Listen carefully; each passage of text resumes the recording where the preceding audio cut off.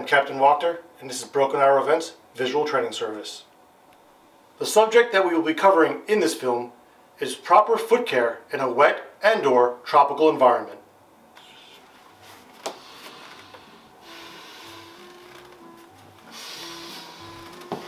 Say, Trooper, looks like you're having problems with your feet.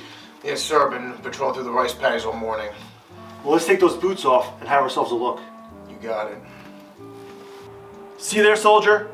Part of your problem is that you may not be wearing the correct socks for the type of environment you're operating in. Really? My girl sent me these from home.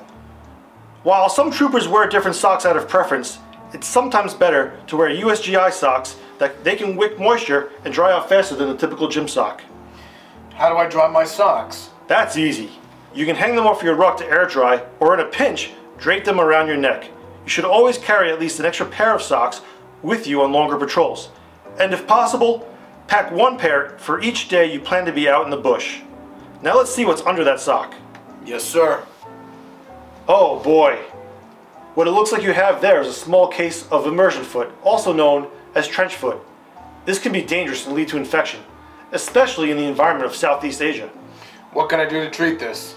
The key is keeping your feet dry. When possible, air your feet out between patrols. Obviously, when you have to put socks back on, make sure they aren't wet. That's good and all, Captain, but what can I do to prevent this in the future? I'm glad you asked that, Specialist. Firstly, and most importantly, change your socks once a day. Even if your feet aren't submerged in water, your sweat might have saturated your socks. Another key element to trench foot prevention is foot powder. Foot powder will protect your feet and help absorb sweat, as well as reduce skin irritation between your toes and other areas that may rub when sweaty or wet. Let's apply some to your foot now. Applying foot powder is very simple. Sprinkle some right above the spaces between your toes. Good. Now rub the powder between your toes and up to the top of your foot and all around it. Don't forget the ankle.